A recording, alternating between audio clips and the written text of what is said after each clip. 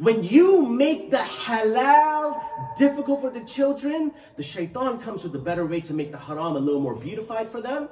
And all of a sudden they go down that path. That your child came to you straight and told you, Baba, Mama, listen, there's someone that I really care about. I want you to meet them. And before you even meet them, you've dismissed them. Wallahi, we need to fear Allah. Parents, build a safer environment for your children with more rapport that they can come talk to you. That your child came to you straight and told you, Baba, Mama, listen, there's someone that I really care about. I want you to meet them.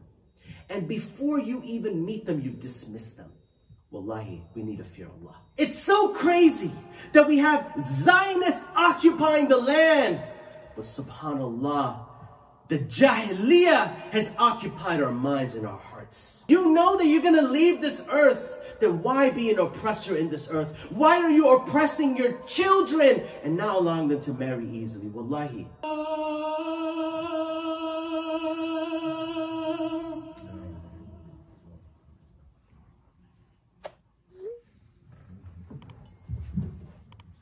إن الحمد لله نحمد ونستعينه ونستغفره ونعوذ بالله من شرور أنفسنا ومن سيئات أعمالنا من يهد الله فلا مضل له ومن يضلل فلا هادي له وأشهد أن لا إله إلا الله وحده لا شريك له وأشهد أن محمدا عبده ورسوله صلى الله عليه وسلم We begin by praising Allah subhanahu wa ta'ala. We praise Him. We thank Him for everything He's provided for us.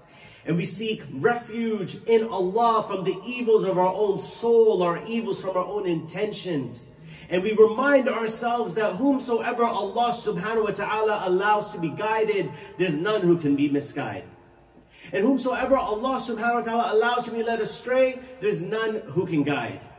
And I testify and bear witness that there's nothing worthy of worship except Allah subhanahu wa ta'ala. And indeed, the Messenger Muhammad sallallahu alayhi wasallam is the last and final messenger of Allah. Allah subhanahu wa ta'ala tells us in the Quran, Ya ayyuhalladhina amanu taqallaha haqqa tuqati wa la tamutunna illa wa antum muslimun. Oh, you have believed, all of us. Have consciousness of Allah, be mindful of Allah, be woke to the idea that Allah subhanahu wa ta'ala is watching everything that we do. Be woke to the idea that we will indeed meet Allah subhanahu wa ta'ala on a day which is unavoidable. And we are reminded to not die in any other condition but the submission to Allah. What does that mean? That means we have to die in sujood? No. It means that we die in a condition that's pleasing to Allah, in the condition of al-Islam. And that is the way we're supposed to live our lives and pass away. My dear, beloved, respected elders, my brothers and sisters of HVICC, Wallahi, you have no idea how much of an honor it is for me to be here. True story, seven years ago, just about seven years ago, I got my first start in speaking in this little gathering over here, mashallah. Wide-eyed person, just excited to give value to the community. This place holds special to me because I remember seeing this. I was new to Islam at the time. I was new to, I, I was just like, wow, they have a basketball court, mashallah. There must be so many youth over here. We played some basketball. It was so much fun, mashallah. And now today I have the honor of delivering a khutbah to you all. Wallahi, I'm so fortunate. Allah subhanahu wa ta'ala brought me from the depths of places that don't even find fit to mention in the house of Allah. Brought someone who is not even worthy to stand in front of you, yet Allah subhanahu wa ta'ala felt it. The need to raise me and elevate me to stand in front of you. Wallahi, I don't take this for granted at all. This might be the highest I ever achieve in my life. So I promise that I'm going to do my best to speak to you and really help you take away a message from here. This minbar is a amana from Allah. Whoever stands over here, that means the organization have found fit that, listen, this person can deliver something. We believe that this person is the right person for the job.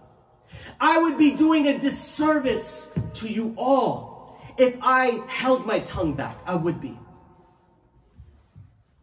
I want to tell you something right now. It comes from a place of love. Believe me, it is.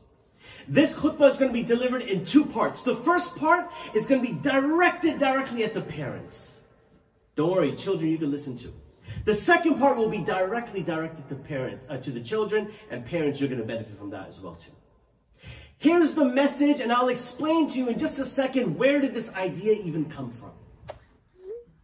Parents, make it easy for your child to get married. Make it easy for them. Do not make the halal difficult. Because if you made the halal difficult, the shaitan's gonna come and make the haram so much more easier. This comes from the inception of a sister who DM'd me on Instagram. And the DM was very, very disturbing. You see, this sister, she lives in Palestine right now. She was born and raised over here in the United States. Her family found it fit to take her back to Palestine. That's their choice. Over there, she's going to university, the same university that her family picked for her. But she met a brother over there. And this brother, she feels like has the right deen, the ikhlaq, the, the, the rightful manners that it's right to come and introduce him to the household. But I think you know where the story is going. You see, they come from a, a higher end culture or family. They come from a place near Ramallah, about five minutes away from the city, called Deir, Deir Daban. Maybe you know, maybe you don't. But you see, the boy's family, they come from a village within Ramallah, which isn't that good. You see, the boy could have slid into her DMs, but he didn't. The sister could have sent him her, his, her, her, her snap code so they can say things and completely disappear. But she didn't. Instead, she did the noble and honorable thing, which was what? Tell her parents. Wallahi, in this day and age, you're lucky if your children come and talk to you about these things. Did you know that? Did you know that it's easier when you make the kitab so difficult, you make sliding into someone's DMs so much more easier. Wallahi, you do. When you make a nikah, something so blessed, simple, and easy, when you make that difficult, oh, you make sending a little bit of pictures in Snapchat much more easier. You see, you don't understand what you're doing, parents. When you make the halal difficult for the children, the shaitan comes with a better way to make the haram a little more beautified for them, and all of a sudden they go down that path. What was the reason they were rejecting this boy? Why? Because of his family. Oh, we're upper middle class? They're barely middle class overall. We're not going to do it at all. What did the messenger sallallahu alaihi wasallam teach us? He taught us that if there's a good proposal that comes to you for your child. Accept it. If you're happy with his deen, his akhlaq, or her deen, her akhlaq, if you're happy with it, accept it. Why? Because if you don't, there'll be fasad and fitna, turmoil on this earth. You see what's so interesting? I've been to Palestine, by the way. Alhamdulillah, beautiful place. Wallahi, you get there, they make you feel at home. They just immediately they make you feel at home, subhanAllah. It's so crazy that we have Zionists occupying the land. But subhanAllah, the Jahiliyyah has occupied our minds and our hearts. We have people occupying our lands, but the dunya has occupied our minds and our hearts more than fearing Allah. And by the way, this isn't a common story for Palestinians, and I don't want you to think that, you know, Brother SQ, you're picking up on Palestinians. No, no, no. This happens in my culture too. If you're from Pakistan and, you know, someone comes to you from, you know, maybe Islamabad for a proposal, but they're people that you want to marry, they come from maybe a place in Karachi or Faisalabad or Lahore, you might be like, oh, I'm not really sure. Islamabad is a city, I'm not really sure how they're going to be. Maybe they can't fit into my family. Yet you negate the fact that your child came to you straight not through the back door, not inviting people to the window, not doing things out of haram, because they fear Allah and they respect you. Do you not trust that your children can find a very good spouse for themselves? Now, I'm not suggesting that you go out and allow that to happen, but you have to understand when you're sending them to the universities, to the schools, there's only so much lowering of gaze that can happen. There's gonna be a time where someone catches someone's eye and you have a choice to make. Living in this century, forget about how your parents did it. Forget about it. Forget about how you were raised. Forget about that. Raise your child in today's time. Today's difficulties are different than the difficulties back then. But guess what? You as a parent has so much, mashallah, knowledge to share with your children. You have so much to give back to them that you can help them in this journey. You can help them. Isn't there something to be proud of? That your child came to you straight and told you, Baba, Mama, listen, there's someone that I really care about. I want you to meet them. And before you even meet them, you've dismissed them. Wallahi, we need to fear Allah. What did the Messenger sallallahu alayhi wasallam teach us? To marry someone, there's some categories. You can marry them for their beauty, you can marry them for their lineage, for their wealth, or you can marry them for their character, their deen, their akhlaq. Out of all of these fours, the best one is the akhlaq. Why? Beauty goes away. Beauty goes away. You see, your lineage, something can happen and all of a sudden this lineage is no good anymore. Money, it can go away as well too. But akhlaq, character, deen, it just evolves. It gets more beautiful, mashallah. But I get it. You're worried about your children. I get it. I understand, right? You want them to be better off. Why? Because you remember the struggles that you had. You remember how difficult it was. You don't want your innocent child to be going through that as well. But can I, and I ask you, wasn't it Allah who provided for you and your wife at that time? Wasn't it Allah who provided for you? Isn't it Allah who gave you everything that you have right now? So what if they start off in the reds? What if they start off a little bit lower? Well, with the help of Allah, with your du'as as the parents, don't you think your du'as can impact their marriage? Yes, it can. With your blessings, do you not think that there can be barakah in their wedding? Yes, it can. Instead of getting so lavish and spending so much money on your marriages, why don't you just follow the sunnah? Do it simple. Give that money to them so they can put maybe a down payment on a house, maybe. Or take, take the spouse onto an umrah trip or a hajj trip, mashallah. Imagine that as a honeymoon. Imagine giving your children the tools to be successful, the privileges needed so they can have a step ahead of you because you never had that. What amazing parents you are, wallahi. What amazing, uh, you know, this entire masjid comes from the inception of who? For what? For why? For the children. Isn't it true? The reason you're thinking about expanding, the reason you're thinking about making this into a school, the basketball, why? So your children could come over here. You know that this is your legacy. You know that you're going to leave this earth. Then why be an oppressor in this earth? Why are you oppressing your children and not allowing them to marry easily? Wallahi.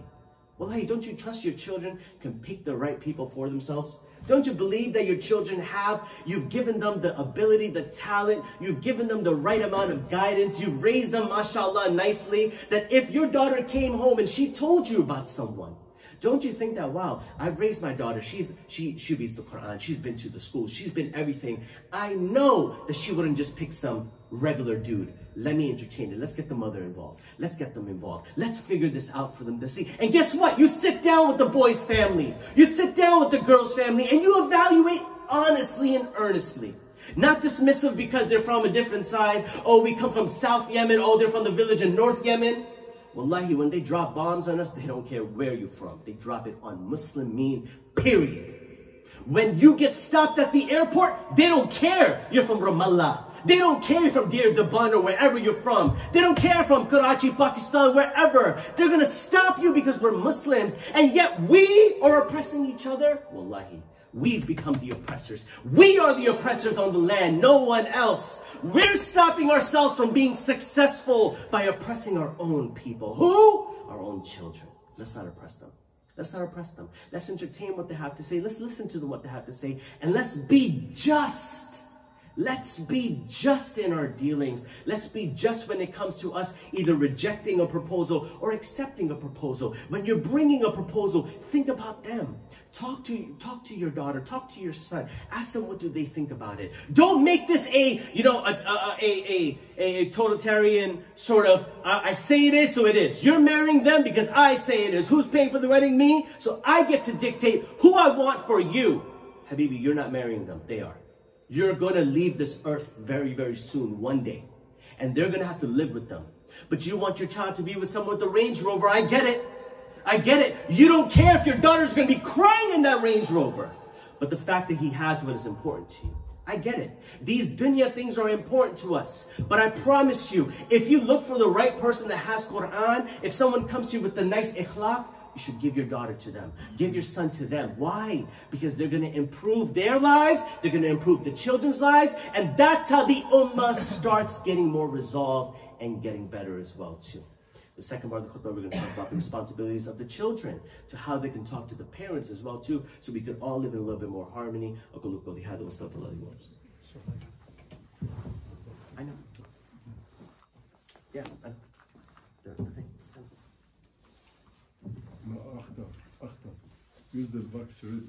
بسم الله الرحمن الرحيم الحمد لله رب العالمين والصلاة والسلام على رسول الله In the first part of the khutbah we talked about making the halal easier for your children. In the first khutbah we talked about the responsibilities of the parents upon their children. Your children are an amana. Allah subhanahu wa ta'ala is going to ask you on the day of judgment of how you spoke to your children. How you treated them, how you interacted with them, what you did for them. Be nice to them, be just to them. The second part is about the children. First and foremost, if you have met someone, first and foremost, fear Allah and do nothing more before you talk to your parents.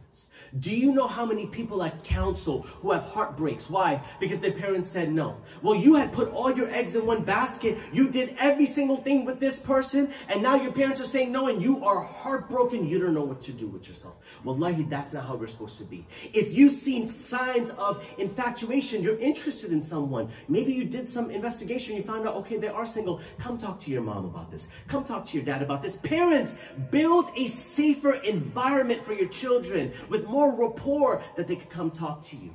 Because you see, what happens is this. If they can't talk to you about this, they're going to talk to their friend. Now, their friend may be a Muslim, may not be a Muslim. But if they're a non-Muslim friend, they're just going to be like, yo, man, forget your parents, bro. Just get their snap. Just get the snap code. Just talk to them in the DMs. Just do something else, bro. Here's this item. Take this. No one has to know. No one has to find out. That's the type of advice that non-Muslims give to Muslims. And sometimes a non-practicing Muslim might even give the same type of advice to other people too. The reason I'm sharing this with children is that if you want, if you truly, sincerely, and earnestly want the best for your family, the best for your children, the best for your parents, just remember something. Come to your parents in the correct way. Prove to your parents that you are able to make the right decisions. You're able to make the positive decisions. How? By showing your character. You're praying five times a day. Your mom doesn't have to tell you to get up and pray salah. You're not waking up at 1 p.m. in the afternoon. You're not ready for marriage. If you're waking up at 11, 12, 1, you're not ready to get married. Relax yourself. Your parents still have to tell you to take out the garbage. You're not an old man yet. You're not even ready. Your mom's still washing your boxers, bro. You ain't ready. So don't come to your parents all correct thinking that you're this person now that you hit a little teenage airs. You want to come to your parents. Stay in your lane and relax yourself. Prove to your parents you're a good decision maker. How? By being responsible. By praying your five daily salah with them. Instead, you should be the one waking them up for fajr. Show them how responsible of a person you are. When you go somewhere, you text your parents immediately. You call them immediately. Listen, Baba Mama, I've arrived safely. Look at that. Maturity. So when that person comes to their parents with a nice little proposal, they're going to believe that, wow, okay, my child is a very responsible child. They're not just going to bring some ame person, some regular person who doesn't even like. I know that their choices is, let me entertain them. Let's bring their family in. Let's have a conversation with them. The reason I'm sharing this with parents and with children is because the number one thing we have to remember is our legacy. They sent your brother SQ all the way from the Bronx. Well, I don't, I don't deserve to be here. Once upon a time, my head was in a toilet. A toilet, vomiting things that I shouldn't have been drinking in the first place. Doing things, signs of jahiliyyah that I shouldn't even have in the first place. Your brother was sent over here based off of legacy. You would have seen amongst you, there have been these pamphlets that were dropped off. This is our legacy. In the Bronx, we have a huge Muslim community, but I'll be honest with you, we don't have much space anymore to pray. We're not as blessed or fortunate as you guys over here. Today, there are three Salatul Jum'ahs at the masjids in the Bronx. Three, okay? The first one that's going to be held, people will be praying in the snow. I want you to keep that in mind. You guys are so fortunate and blessed and lucky to have such a beautiful place. Wallahi, in the Bronx, it's not like that. You see, the pamphlets that you would have received by now, it's a pamphlet that shows if you would like to read the project, don't even donate. It's okay. Believe me, this is going to get built with or without your help. So the good news is you can participate if you want. But the bad news is that whether you participate or not, Allah is going to make sure this building, this house gets built. And this will be the largest, listen to what I'm saying, it will be the largest masjid in the entire Bronx. It's the biggest. Right now in our halaqah circle with the youth, we have about 40 children who come. Why? It can only be 40 because we don't have enough space. Imagine more space, imagine more youth. We counsel children who are hooked on pornography, but this new place will have a counseling center. We talk to children who are hooked on drugs. This place will have a counseling center. We have reverts coming into the masjid. We don't have we have programs for them, but we don't have a section for them. We need more space. We need your help. This is our legacy. So I just want to show you that this is what it's going to look like. You see these people who are praying over here. In the, in the summertime, it's nice because the sun is on you. It feels good. But in the wintertime, when this weather outside, we're all outside. This is how we look like even in the wintertime. So I just want you guys to be mindful of this. I don't want you to donate because you feel bad for us. Because I don't want you to feel bad for us. I don't want your pity. We don't need your pity. The Bronx has been fine all along. But you have an opportunity right now to help another community of yours that needs some help too. So if you would like to help the community, there's a red box. All the proceeds go straight to the masjid. Okay, there's another box that goes straight to me. You could put money for me in that box, inshallah, right? But the masjid's box are the red ones. The pamphlets that you have, you can either put up your, you could go through Venmo, PayPal, Cash App, Zelle, however you want. And we've given you all the options, okay? But you all have these pamphlets. If you don't have one, we'll get you one as well. In this pamphlet, it tells you how you can pay. You can set up a, a fund that goes out from your account all the time or a one-time payment. If you don't want any of this, you just want to charge a one-time payment to a card, we got that too. But give whatever you can. Believe me, give whatever you can with the right intention. That's all we need. We don't need a generous amount. We need the right intention. Because see, a dollar with barakah will go a very long way. A dollar given with stinginess, oh, go, it'll help. But your du'as, your, the, the, the barakah is in your du'as. So please, give whatever you can. Give whatever you absolutely can. And if you can't give anything right now, take it home. Give it to someone who might. And if you still can't do that, your du'as will make this project come true and happen much, much quicker. We ask Allah subhanahu wa ta'ala to bless us. We ask Allah subhanahu wa ta'ala to forgive us. And we ask Allah subhanahu wa ta'ala to elevate us. May Allah subhanahu wa ta'ala increase our households. May Allah subhanahu wa ta'ala allow our children to be married and have righteous partners. May Allah subhanahu wa ta'ala allow us to not, do not, please, Allah protect us from oppressing our own children. Allah protect the children from oppressing the parents. Allah allow the parents and the children to live in harmony within their homes. Allah allow our masajid to be filled with the youth. Allah allow our masajid to have the legacy that we need. Allow us to give dawah, to spread Islam from the corners of the earth, Ya Allah. Allow your message to be successful, Allah. Allow us to be the instruments to allow your, uh, your religion to spread on this earth. Allahumma salli ala Muhammad wa ala ali Muhammad kama sallaita ala Ibrahim wa ala ali Ibrahim innaka hamidu majid. Allahumma barik ala Muhammad wa ala ali Muhammad kama barakta ala Ibrahim وعلى آل إبراهيم إنك حميد مجيد ربنا آتنا في الدنيا حسنة وفي الآخرة حسنة وقنا عذاب النار May Allah accept from us, forgive us, guide us all. Welcome.